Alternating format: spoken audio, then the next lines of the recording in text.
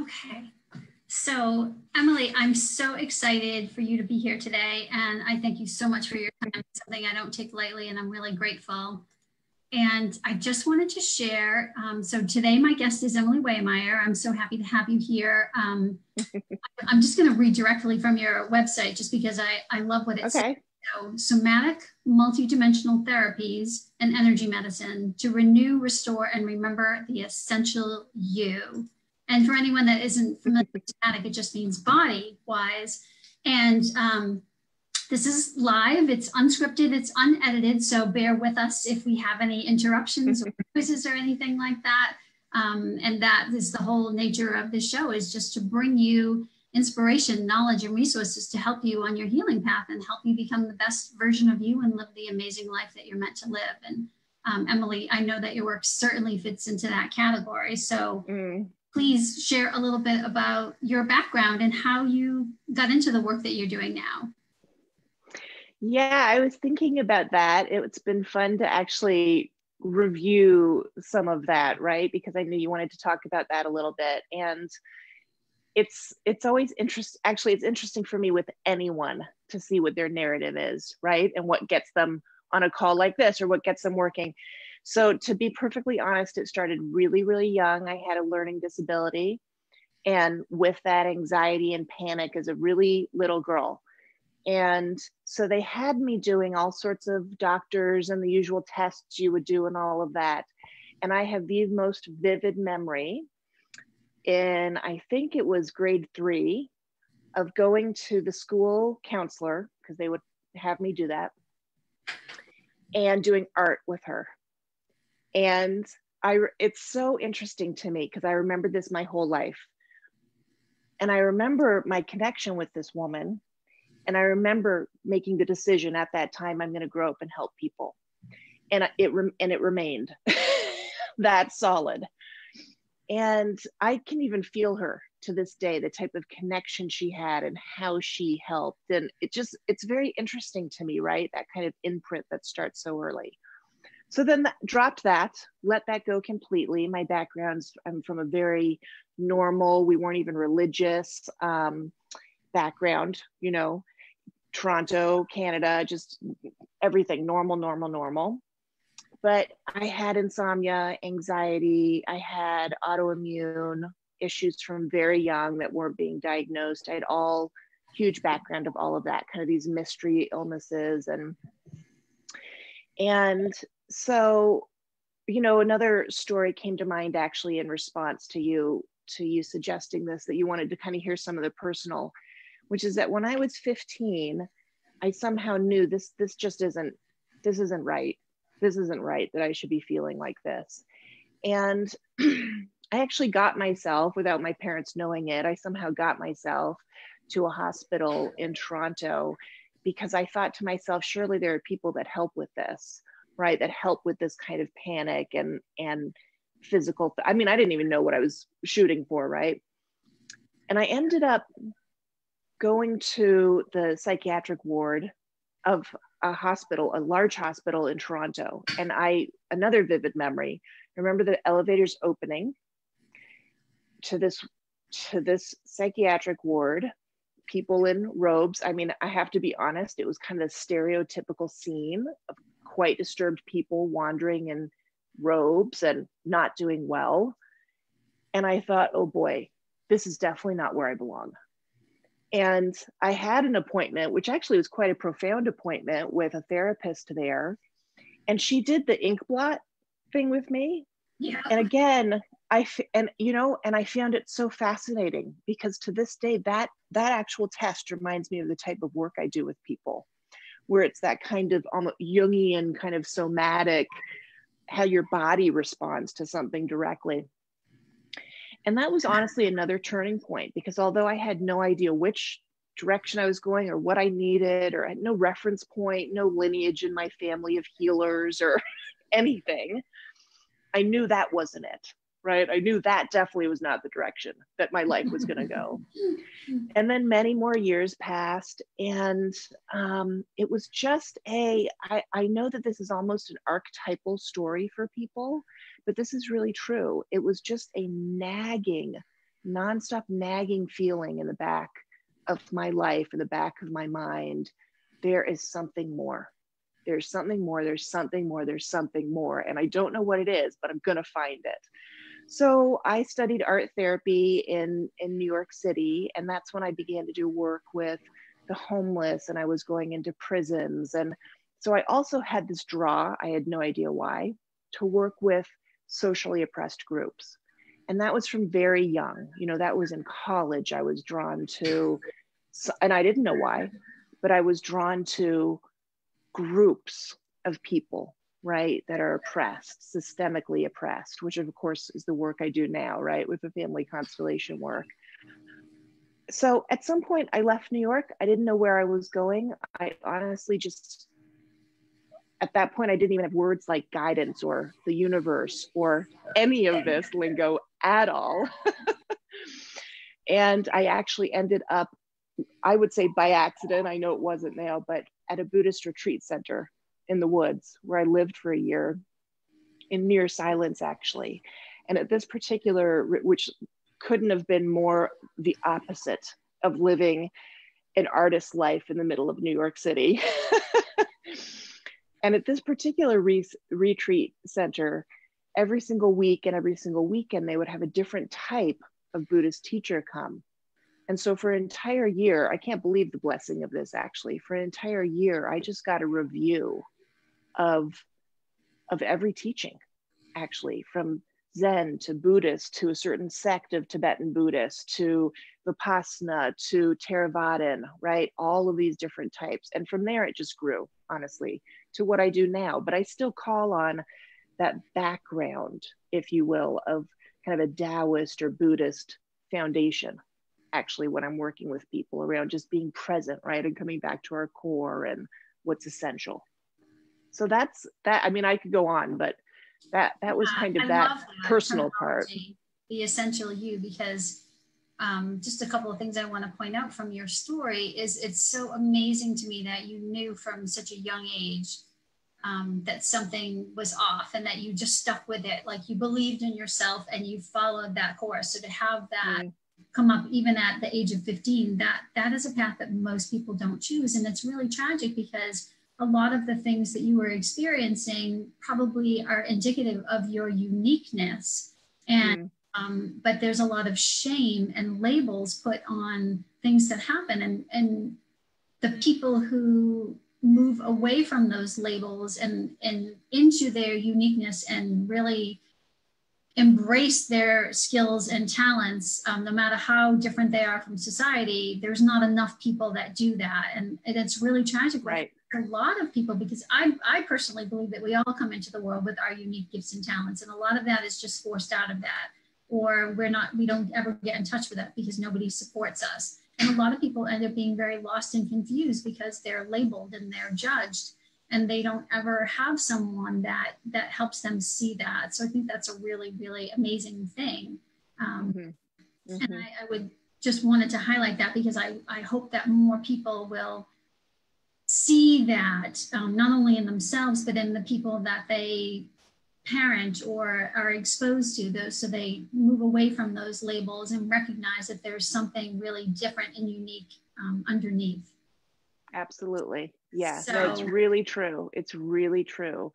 And that ends up then being the people that you and i work with right? And, right and then people who change the world and we need more people like that as opposed right a lot of unhappy people that um, you know are moving through life not knowing who they are. That's a really really unfortunate thing. And right.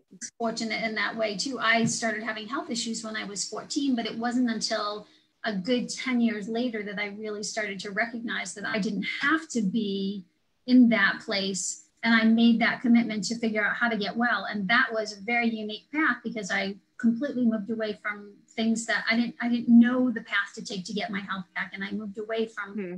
choices that most people make and I had to navigate that all by myself. Mm. And I always wonder why more people don't come to that same conclusion. Like I had a great life. I really, really wanted to enjoy it and I was miserably unhealthy and I couldn't. So I mm. figure out how to bring it together. And yeah. definitely more options available today, which is actually how I found you. So um, I made a commitment to get my health back in December of 2000. and definitely have recovered my health. And since then, I'm just so interested in continuously expanding my health. And I was really focused on physical things when I first get got started, which mm. is the most common thing that people are connected to and aware of. And as I continued on my journey, I realized that I was missing the emotional, mental, spiritual pieces. And if I, as I started to bring those things in and start working on those, it not only really changed my life in many significant ways, but also continued my ability to expand my physical health. And so I made the mm-hmm. in my mm-hmm. head about, oh, this is all interconnected, it's all one. And since mm-hmm. just been fabulously interested in that and like just trying to keep looking, what are the next pieces? What haven't I looked at yet? What am I still holding on to with my beliefs? What, you know, anything and everything, because it's been such an interesting and expansive process for me. And that's right. that's how you and I met and ended up working together mm-hmm. because we were both guests on um, a, the former podcast. It's not um, active anymore, but Warrior Woman with a Purpose, which has since turned into another awesome podcast, which is Mentor in the Mirror. And my friends and mentors, Cole and Ta Whitty. And you did a, a, podcast interview with Cole there. And um, I had just, I had never listened to podcasts before. And Cole's podcast was so amazing. I got really into it and there were many many great practitioners and yeah. products and all kinds of facilitators and facilitators and things like that that i was exposed to via that. And um, i had never heard of the kind of work that you do. So i was uh-huh. interested in it. And there were a couple other people that she had done um, shows but that i had reached out to and i wasn't really resonating with them when i connected with them personally but i definitely did with you. So mm wanna, that leads right into what is it that you actually do? right. I love that question. I always have the initial, my initial response is to feel completely daunted by that. because as you know, even having experienced it, it's very hard to describe. It's yes, it genuinely is hard to describe. So the foundation of what I do is I'm looking at transgenerational patterns and I'm looking at those those transgenerational, so multi-generational patterns, then within the larger scope of historical events within the family as well. And then this part's kind of important, this image, right? So so there's us obviously our personal and our energy field and then outside of that the family system field you know and then the the historical events that hold that family and shape that family. But then outside of that, because you had kind of asked about this too, this outside of that, there are larger fields actually, right, that are holding and shaping those historical events as well. And so honestly, my work is to work all of those different layers more or less at once with a person to both help, and I, I work with women to mainly help two things really is to help them find where they belong, right? So and you were just speaking about that actually. Well, actually, you're speaking about both of these to help the belonging piece and then also purpose, right? Because it's it's both. It's we have to find our belonging and our purpose, and they go together and they feed off of each other. So I work with a lot of women who are in leadership roles, and for me, that's a really I use that word specifically to help people remember mothers are leaders, right? Women in general actually are leaders because we're the connectors in our communities. And so I find that women who don't think they're leaders at all are leading, right? We mm-hmm. even lead in our personal relationships. It's usually up to us. So we're leading our children, we're leading at school, we're leading, and then there's ones who define themselves as leaders and entrepreneurs and all that and the women and the women I work with, the reason I because I used to work with everyone. The the reason I actually zeroed it down to women is is not because like that's what you're supposed to do as a business or whatever, but the reason I did that is because I want to have the biggest effect. And I found I found over 30 years across the board that women right once they come back to their essential self and can and can just lead themselves be in their core they spread that naturally. And I just love watching that, right? They spread it to their family, their children, their every, I mean, I love watching that and hearing those stories. Yeah. So that's the, that's the backdrop. And I know I just said a lot. So yeah, so let's dig into that a little bit because it's not, these concepts can be hard to grasp because they're not tangible. We can't see them, taste them, feel them. So we kind of like put them into this like woo realm. And when I'm just, when I'm having, trying, having these discussions with my private clients, oftentimes I encourage them to picture emotions and energy and past traumas and traumas that happened in previous generations as physical things that can literally get stuck in your body the same way a toxin can, an unprocessed food, like yes. insult to your body, and you can hold on to that.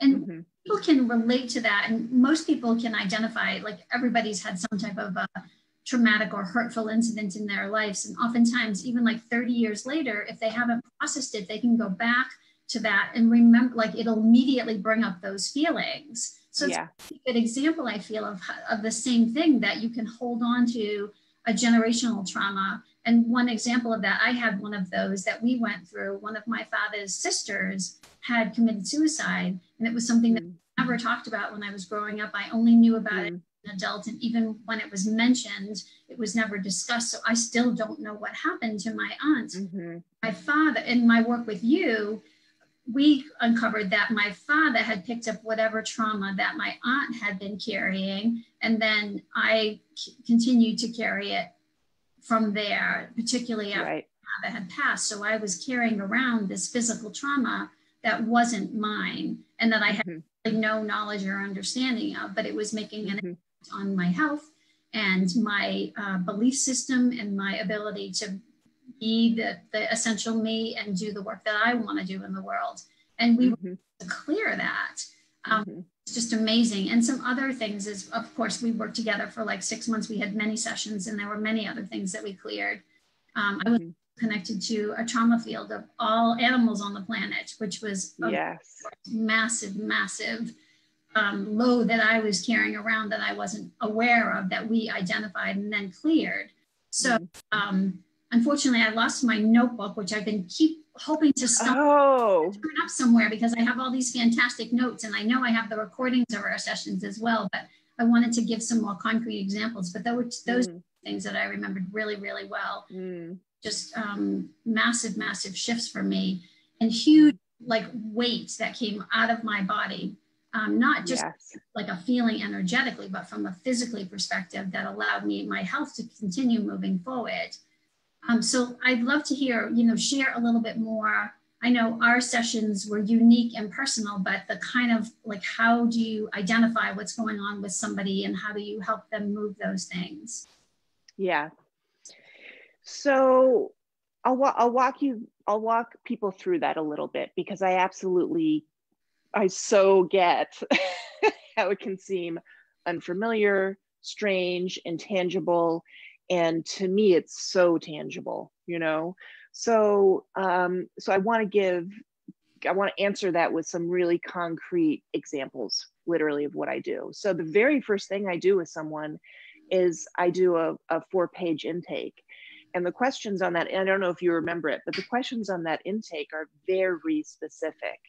And what i'm actually looking for in that and that starts the work in that intake is I don't explain this. I just want people to answer the questions. But what I'm actually looking for in all those questions about siblings, children, um, parents, the relationship with the mother, and any disruptions in secure attachment, grandparents, any early deaths, any unfair treatment, any exclusions, right? Any exclusions, and exclusions means if a child died young or was stillborn and then the family tried to forget it.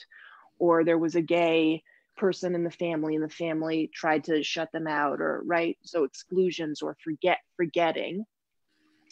That in the in that what i'm actually looking for because the person knows it even if they don't know it consciously is i'm looking for who are the missing people? Who are the missing people in that family system and the reason I'm looking for that, so I'll start with that first. The reason I'm looking for that is because what we know, and this is this has actually been tested, proven, medical, both medical, you know, and scientific result, tests and research have been done for a long time actually about this. What we know is that there are behavioral fields, if you will. So we have our own energy field, but I'll give examples of this, right? So, so many examples of this. Um, flocks of birds, right? So that image of starlings, schools of fish, um, herds, herds of, you know, I think of those herds of wildebeest when there's 10,000, right, at a, at a fast pace. That sense, I'm just going to list off things that might give an image to people. That sense that we're being stared at and we turn around and someone we don't even know is looking at us, or we think of someone and they call, right? Or the fact that the certain, certain things that have been studied are, for example, that dogs know when their owners are coming home. Doesn't matter how far away their owner is wolves can somehow, we don't know how, communicate 500 miles away, right? In, in literally in terms of their pack and what they're doing. The examples go on and on. And so we've been able to watch this with animals and in nature, and then with humans too. So in our culture, what's happened, I call it cultural amnesia, is we have forgotten that we are truly interdependent and that and we are interdependent within one field that governs our our family system it governs social systems so that those social systems are congruent and coherent and it actually governs those systems across generations so it's not just one not just the psychological realm of your family of origin it goes way further back and so that's why the example you gave of your father's sister, that's why we can be connected. And we see this over and over again with people we didn't even meet. And there wasn't psychological material between us, but there's a loyalty. And there are, so we see these, we can experience it for ourselves. There are these loyalties amongst family members that are far beyond just the mother father, you know, daughter relationship. And so when we look at that, what happens is, is that, in, and in the examples you gave, what's so interesting to me about that, about these so called, we call them entanglements. What's so interesting about that to me is that it always points to this love and loyalty. You know, people often ask me, how do you not just get depressed with the work that you do, right? You're working with social oppression and collective trauma and inherited family trauma all day long. And the reason I don't is because I'm looking for what is it that's underneath that, right? What is it that creates that bond? And to me, that bond is incredibly beautiful. It's very profound, actually. And it's what's keeping us going as a species, honestly. Um, and in family groups right it's what it's the glue that field is the glue because if you can imagine i think people can really relate to this a lot of us would not necessarily stick together as a family group right mm-hmm. Especially those of us who kind of are black sheep and and that kind of a thing right? We would have cut them off long ago. And we don't. And the reason we don't is because of that bond. We truly want to belong to our family but it goes beyond just our thinking right?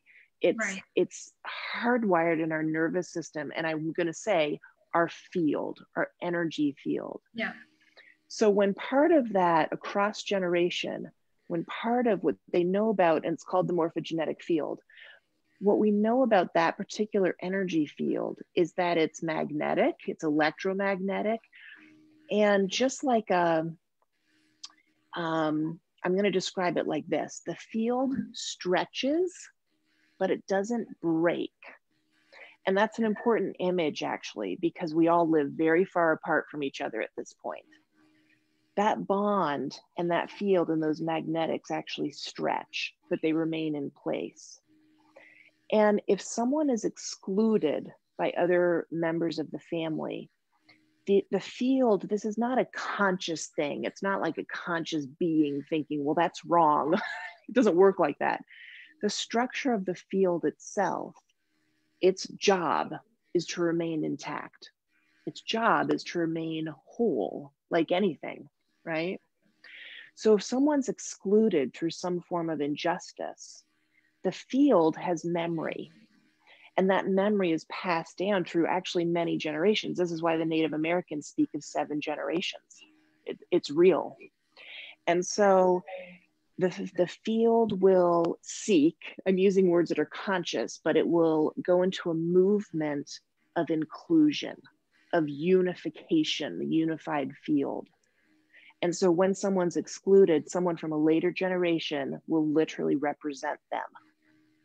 And that is that field at work bringing that person back in.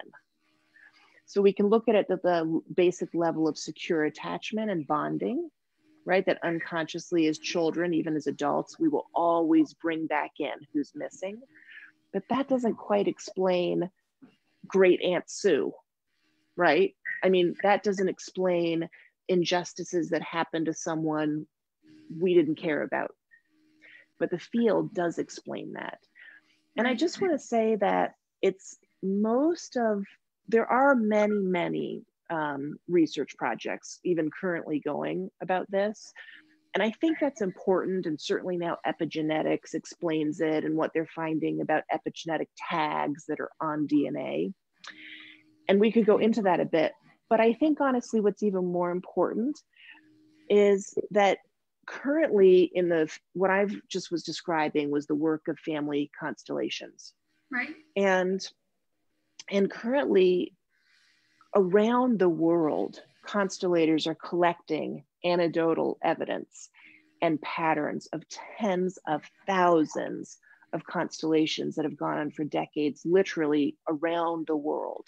And I don't just mean kind of in cities and where, I mean everywhere. People are going out to even very far off communities, right? Aboriginals and Native Americans who have been excluded and working in these different groups and in prisons and, you know, hospitals everywhere. And we're finding the exact same patterns, energetic patterns over and over and over again. And so that's part of what feeds this work is that we're seeing it, right? We're seeing it in tangible ways, and that then there are tangible results for people when we do that work and we're able to bring back in to the person, right? We're able to bring that those excluded people back in. Or in your case, you talked about the collective field of animals. This is also true. It's not just our family members, as human beings, we are exquisitely attuned. I mean, this this brain and body and field, as you know more than I do, you because you know the whole physical piece of it that's amazing, is we are exquisitely tuned to these fields. And so we're also tracking not just our family, but the collective trauma or the collective successes of larger groups whether right. it's animals or the ecosystem or the climate or the planet right. or racism or you know indigenous people we're we're very we're connected we just are right i want to break that down a little bit it all makes sense to me and um i know that a lot of people now when you are thinking about their relationships in their family and deciding whether they want to be connected to people or not.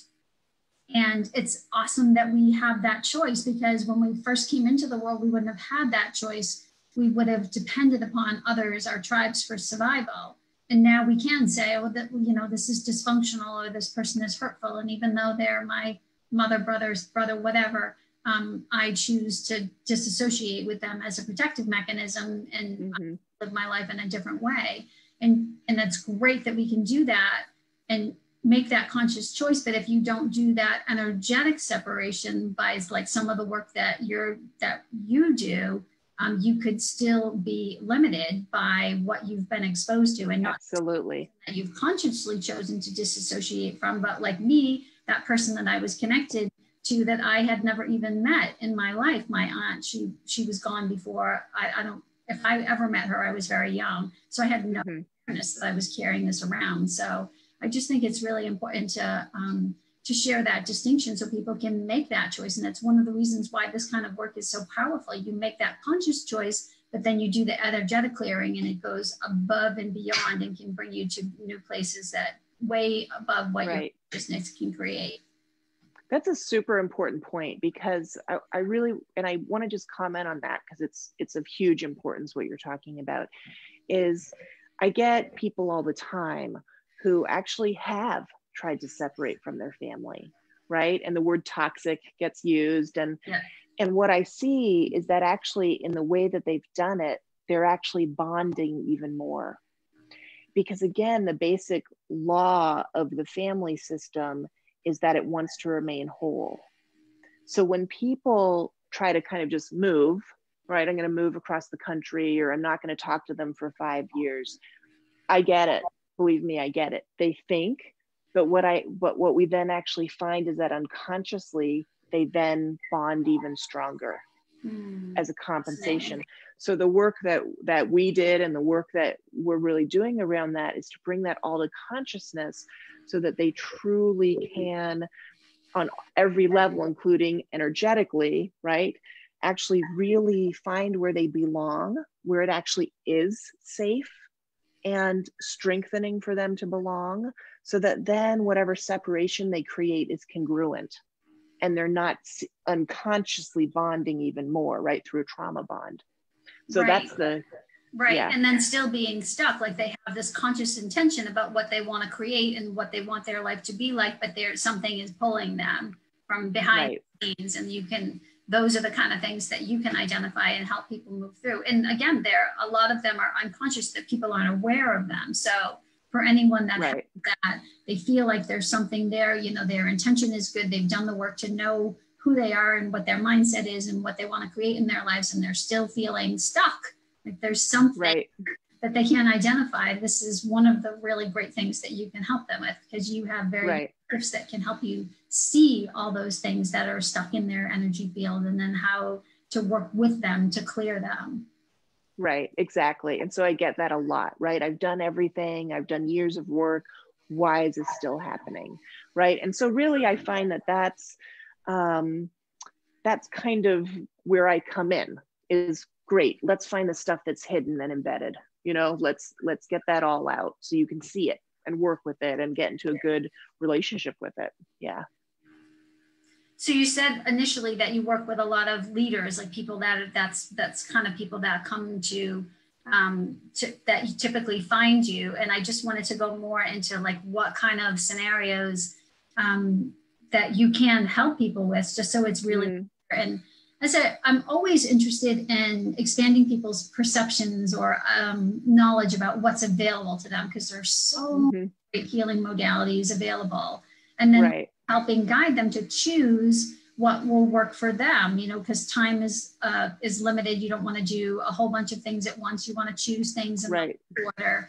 Um, and of course one well one of the things that's worked really really well for me is is what resonates with me. So as i mentioned to you when we first started talking that when when i was considering working with you i was talking to a few different people and mm-hmm. pursuing some different things. I was just interested in personal growth more and um, I only choose things that resonate with me. So I can't recommend that highly enough for anybody um, mm-hmm. choose something you know that you just think you should, or somebody else did it and it worked for them. Right. Not necessarily going to pan out the same way for you.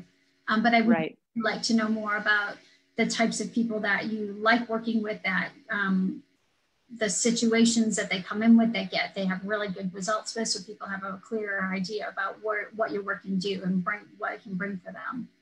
Uh-huh. You know what? So it's a it's a pretty large span to be honest because as you know i have a few different programs and ways of working with people. So i'll just kind of break it down around that right? So i definitely get people who um I tend to get two categories of people. So, and there's overlap, but I definitely get people who are just at the end of their rope, right? Their health is gone, um, their relationships, right? Their marriage, their whatever it is. And um, they just have lost peace with themselves, honestly, and are feeling very lost, or there's a lot of active trauma. So I absolutely get that, right? And again it tends to be people where of course they've started as you said we often look at the physical first. So they've usually already kind of been to doctors and maybe they've started to go to some alternative people or but they've kind of done the things that are more accessible you know kind of talk therapy or more um, a little bit more mainstream.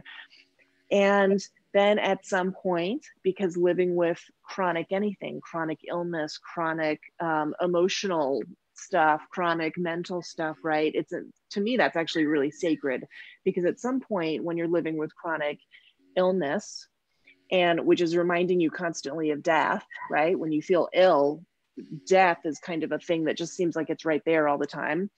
Um, it's amazing how that pushes people to actually then examine their life right? And so um, eventually people usually find me online actually is where they find me around that and they've done it all. They've been through everything. They've been to hell and back.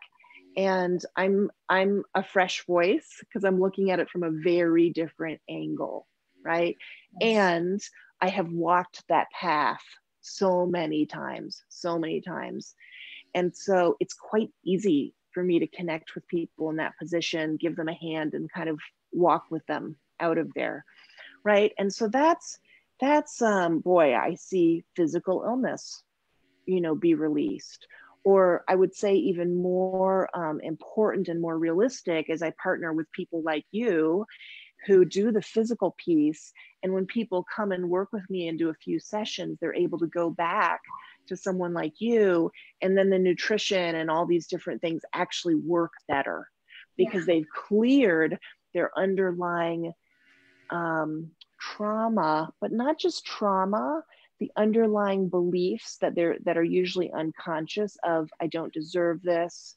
There's a reason i'm sick. I need to stay sick. All of those things right. you know? and which are all triggering physical releases of chemicals in your brain that completely control and change the function of your body. So that's an awesome awesome point.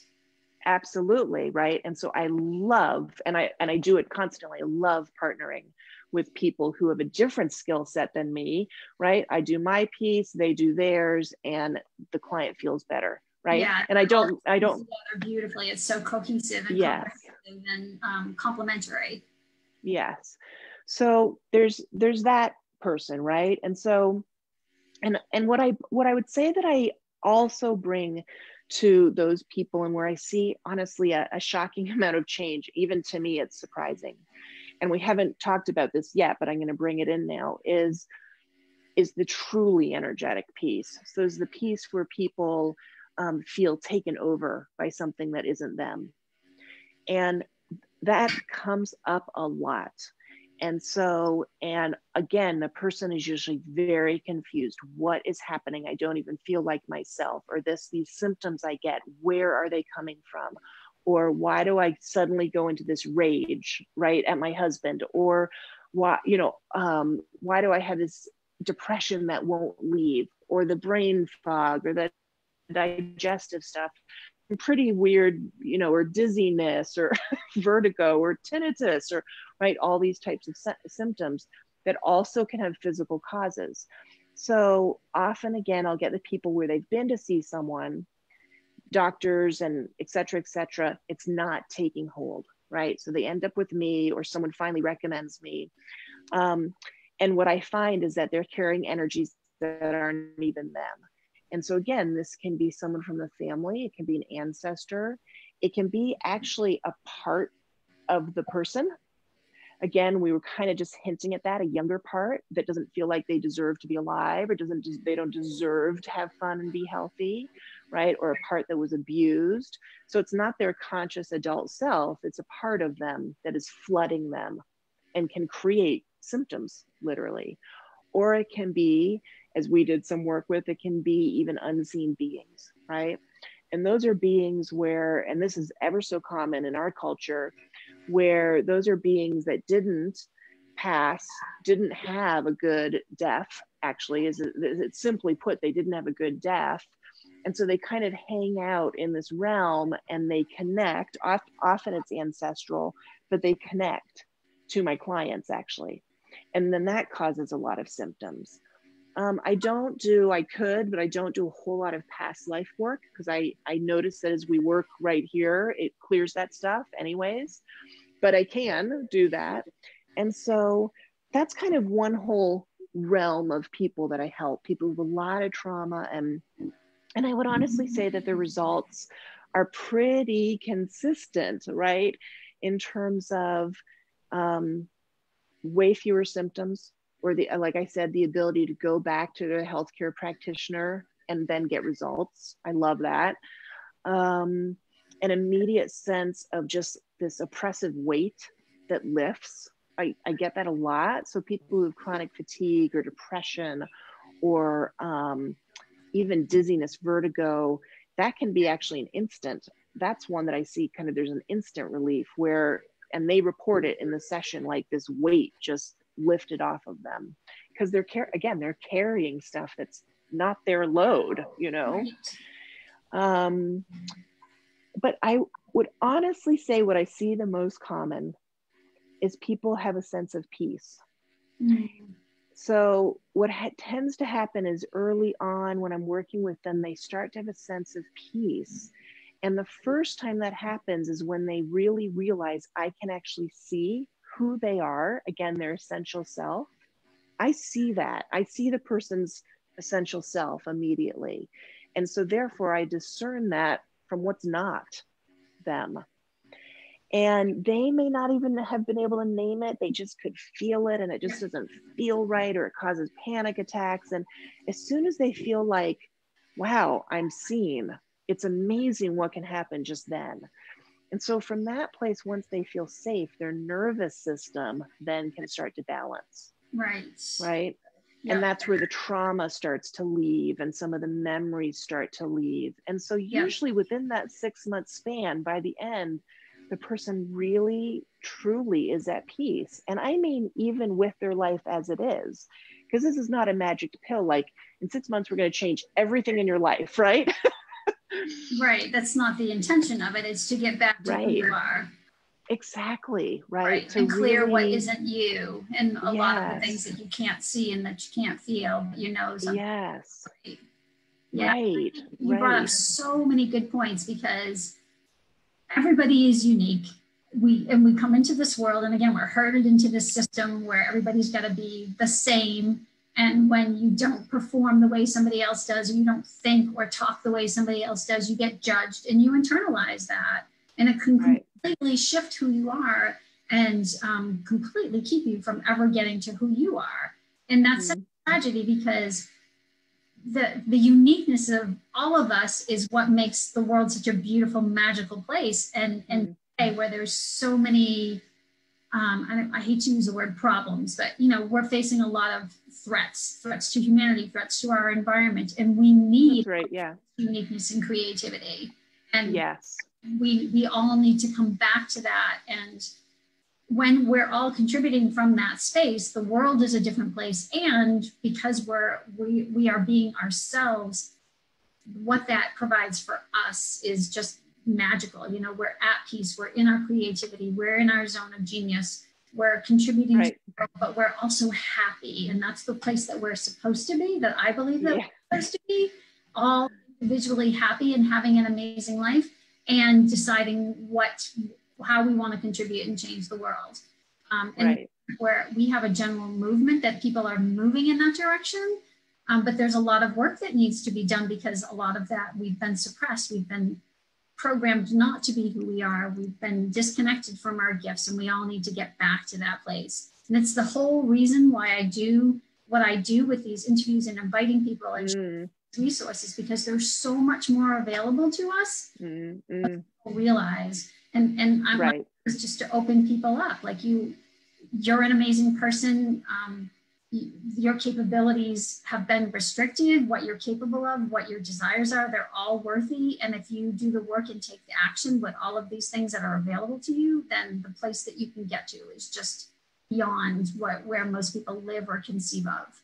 Absolutely. I mean i'm I, am i am literally in awe every every day. I'm in awe because i get to you just described that so beautifully right? And that's mm-hmm. that's kind of the other segment of people that i work with right are yes we're clearing stuff but really i'm they've done a lot of it already and they're wanting to get to what you just said where it's like okay i've done that foundational work but I'm still not totally clear on what my purpose is and how to pull it off, right?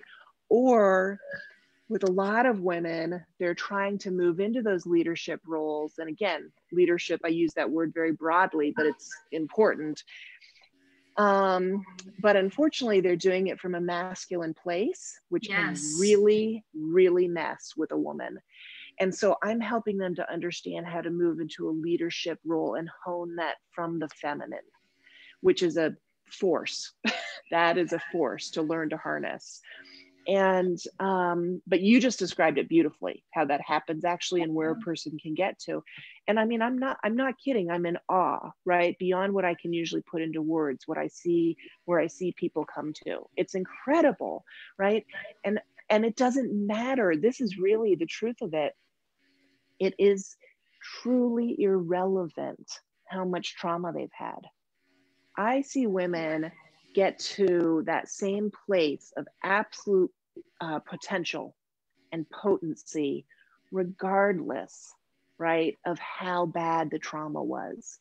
And again, it's about that essential self. That essential self isn't touched by that trauma, right? So if you work in a way where you really can can land there and then practice staying there because that's the real work is not just landing there it's done but returning, returning. Right. Right. right? Just, yeah, can be really yes, hard.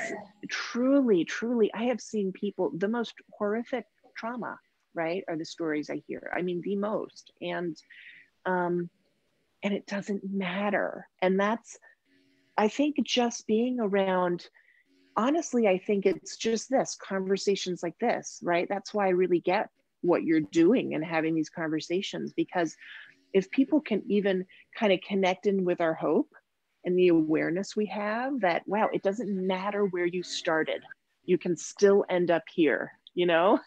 Absolutely. everyone has that potential. Yeah. I also want to point out that we oftentimes judge our traumas or compare them. So oh well i didn't have the trauma that she had. I wasn't violently raped. I wasn't from an abusive family. But we all have traumas and sometimes it's just an interpretation of the way that we're spoken to that creates a belief that we're operating out of that is really a trauma to our bodies. So I just wanted to throw that out there to encourage anybody like don't judge your traumas. If something was traumatic right. for you, then that that's still living in your body if you haven't worked to clear through that. And it, right. can, it can affect the rest of your life.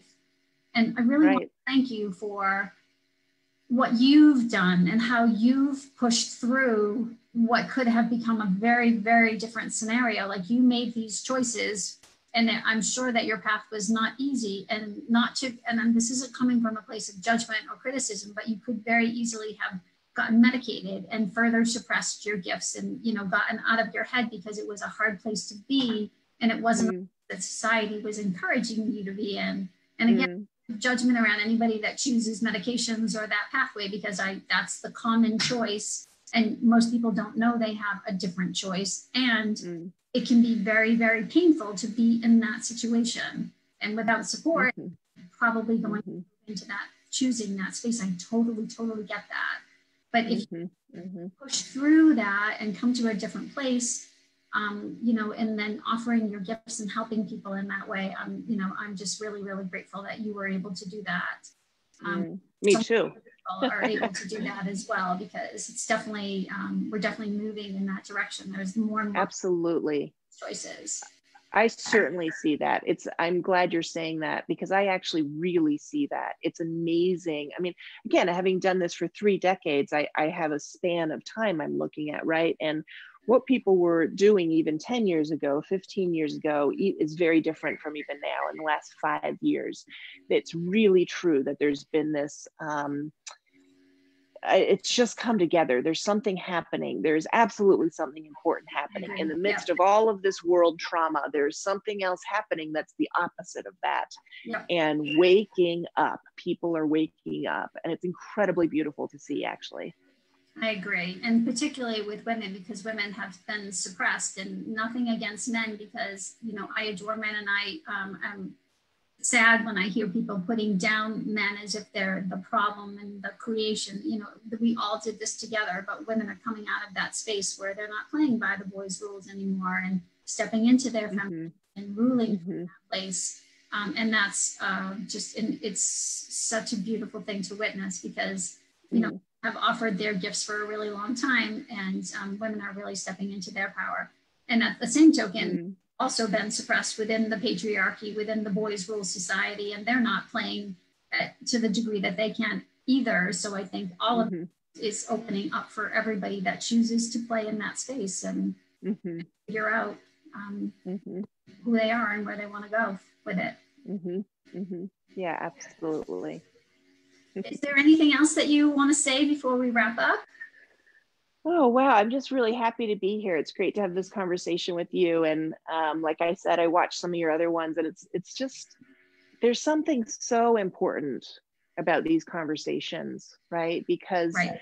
honestly, this is a constellation right now, right? And when you get two or more people in a space and they're and they're holding that um, field of potential is really what it is, right? It it expands and it's it's really good to do. So Agreed. So thank and you. I thank you so yeah. much for your time and the work that you do and for being here with us today. Mm, thank you. Great.